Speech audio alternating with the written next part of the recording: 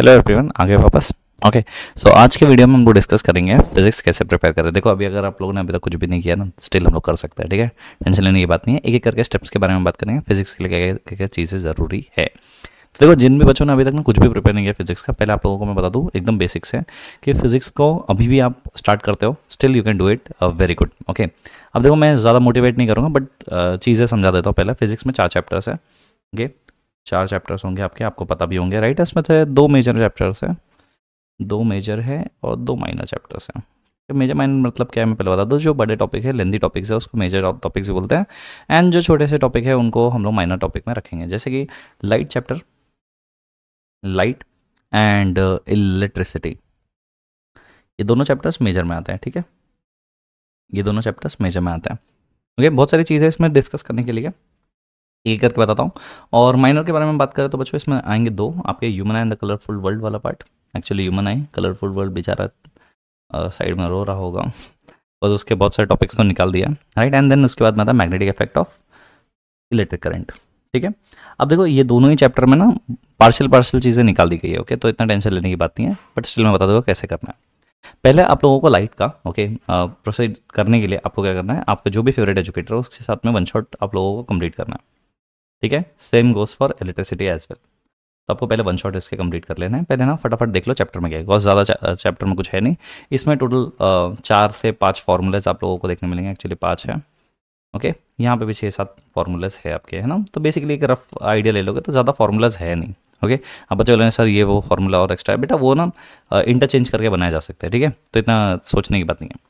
अब अगर सोचो वन शॉट पहले आपने कंप्लीट कर लिया। आपको एक ओवरव्यू आ गया चैप्टर का। सीधा सीधा सम सॉल्व करो न्यूमेरिकल्स पे जंप करो। कोई बोले थियरी करो, बेवकूफ़ है वो, ठीक है? सीधा न्यूमेरिकल्स के ऊपर जंप करोगे। सीधा सम सॉल्व करने के रेडी हो जाओ और सम सॉल्व करने लग जाओ। बिकॉज़ इसमें थोरेटिकल क्वेश्चन आने के चांसेस थोड़े कम होते हैं बच्चों ओके बहुत बहुत ही माइनर वे में अगर देखा जाए तो आते भी है। तो न्यूमेरिकल सीधा इसके जंप करोगे ओके थियरी के लिए ये दोनों चैप्टर संभाल लेंगे। ठीक है? तो न्यूमेरिकल सीधा सॉल्व करने लग जाओगे ओके इसके हो सके जितना हो सकता है अपने फेवरेट एजुकेटर्स के जो भी आपके फेवरेट होंगे बच्चों उनके न्यूमेरिकल्स के मैराथॉन्स देखो ओके अगर आप मेरे वीडियोस देख रहे हो तो आप लोगों को पता है मैंने बहुत सारे मैराथॉन्स ऑलरेडी ले रखे हैं। दोनों के मैराथॉन्स करना है। एक्स्ट्रा क्या होगा बच्चों याद रख लेना इसमें आप लोगों को एक्स्ट्रा कुछ करना पड़ता है एंड उसे बोलते हैं रे डायग्राम्स रे डायग्राम्स को कंप्लीट करना है ओके okay, इसके रे डायग्राम्स को कंप्लीट करना है ओके okay, तो रे डायग्राम्स कंप्लीट करोगे इसके इसमें एक्स्ट्रा क्या करना होता है बच्चों? इसमें आर इक्वलेंट वाले क्वेश्चन करने होते हैं ठीक है जिन्हें हम लोग सर्किट प्रॉब्लम्स भी कहते हैं। तो सर्किट प्रॉब्लम्स को सॉल्व करना है। ये सब होने के बाद में ओके okay, इतना अगर आप कर लेते हो इसके बाद में आप लोगों को सोचना है कि इसके बारे में डेट वुड बी थियरी के बारे में। इसके बाद थियरी इससे पहले थियरी कर रहे हो बच्चों बेवकूफ़ी करने जा रहे हो। तो वन शॉट कंप्लीट करना है न्यूमेरिकल्स कंप्लीट करना है, फिर मैराथन न्यूमेरिकल के कंप्लीट करना है, जितने ज़्यादा हो सकते हैं उतने क्वेश्चंस लगा लेने हैं। देन लाइट के रे डायग्राम्स को कंप्लीट करोगे और इसके equivalent resistance problem and circuit problem को आप सॉल्व करोगे। देन उसके बाद में अगर हम लोग बात करें human and the colourful world वाला ओके ह्यूमन आई वाले पार्ट में तो देखो पहले तो ह्यूमन आई में ओके फ़ंक्शंस कंप्लीट कर लोगे। फ़ंक्शंस को कंप्लीट करना है सबसे पहले ओके पहला पॉइंट ही सबसे पहला पॉइंट होता है फ़ंक्शंस कंप्लीट कर लेना। फ़ंक्शंस होते ही आप लोगों को सीधा जंप करना है बच्चों, इसके थियरी क्वेश्चंस के ऊपर। Theory questions okay and given है, इसके वन शॉट्स पहले आप लोगों ने कंप्लीट कर लिए होंगे रिविजन के लिए। अगर आता है तो या वन शॉट तो करना ही है दोनों के।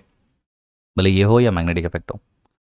वन शॉट्स कर लो अगर नहीं पता है तो। या फिर आप खुद से पढ़ाई कर लोगे तो भी चले इन चैप्टर्स में, ज़्यादा दूसरों की ज़रूरत नहीं पड़ेगी आपको। तो फ़ंक्शंस पहले कंप्लीट करना है थियोरेटिकल क्वेश्चंस कंप्लीट कर लेना है इसमें।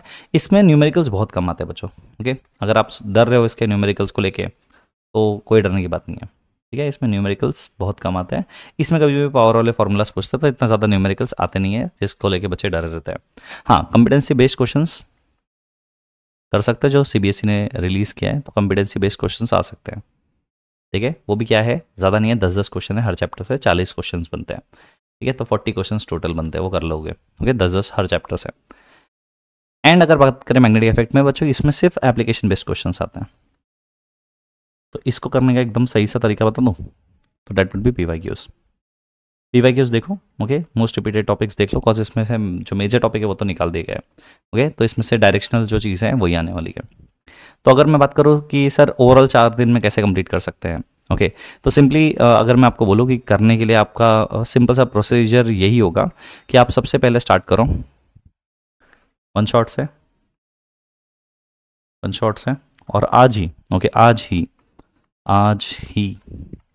चार चैप्टर्स कंप्लीट करने वन शॉट देख के। सर ज़्यादा हो गया मत करो ओके okay, आपके लिए फिर बोर्ड से ही नहीं ठीक है? आज ही करना है चार चैप्टर्स वन शॉट और ये ना पाँच पाँच मिनट वाले वन शॉट मत देख लेना ठीक है? ये पाँच पाँच मिनट वाले वन शॉट्स को देख के आ, देखने से अच्छा है कि उतना टाइम में डेटा बंद कर दो ओके और जाके सो जाओ ओके थोड़ा रेस्ट मिलेगा। ऐसे बेवकूफ़ी वाले वीडियोस को नहीं देखना आपको। लिटरली जिसने अच्छे से पढ़ाया होगा ना उस वीडियो को देखना ठीक है? जिसमें डिटेल्ड में एक्सप्लेन्ड चैप्टर्स होते हैं वो वन शॉट देखो भले आप टू एक्स पे देख लो ओके टू एक्स स्पीड पे देख लो चलेगा ओके बट इतना ज़्यादा मेहरबानी खुद के ऊपर मत करना कि पाँच से दस मिनट में निपट जाने वाले टॉपिक देख लो आप लो और कंप्लीट करो। ऐसे वीडियोस से दूर रहो। ओके तो बोर्ड्स का सिंपल सा रूल है। ऐसे कोई भी वीडियोस देखना नहीं है जहाँ पे आप लोगों को जल्दी कोई चीज़ मिल रही है। ठीक है? तो वन शॉट्स देखोगे, अच्छे मके मतलब मैं ये नहीं बोल रहा ड्यूरेशन बेस्ड बट देखोगे कॉन्सेप्ट बेस्ड हो। ठीक है? ये चारों चैप्टर्स को कंप्लीट कर लेना आज ही। दूसरे दिन सीधा स्टार्ट करोगे, मैंने जैसे बताया फिजिक्स में न्यूमेरिकल है तो न्यूमेरिकल से स्टार्ट करोगे। न्यूमेरिकल्स कर लोगे आप डे टू पे। डे टू पे। न्यूमेरिकल्स दोनों चैप्टर्स के एक साथ कंप्लीट कर लेना है।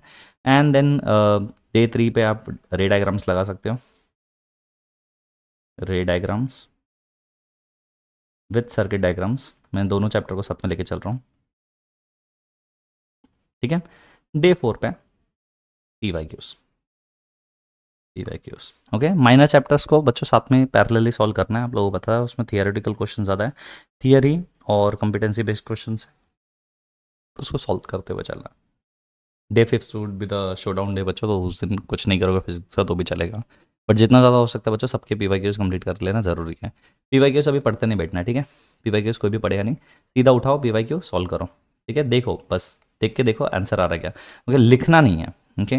डोंट राइट इट अगर आपको कोई बोले लिखना है, लिखना नहीं है। सिर्फ़ न्यूमेरिकल्स को लिखना है, बस, और कुछ भी लिखना नहीं है। मैं तो बोलता हूँ डायग्राम्स भी बना के नहीं प्रैक्टिस करोगे तो भी चलेगा, ओके?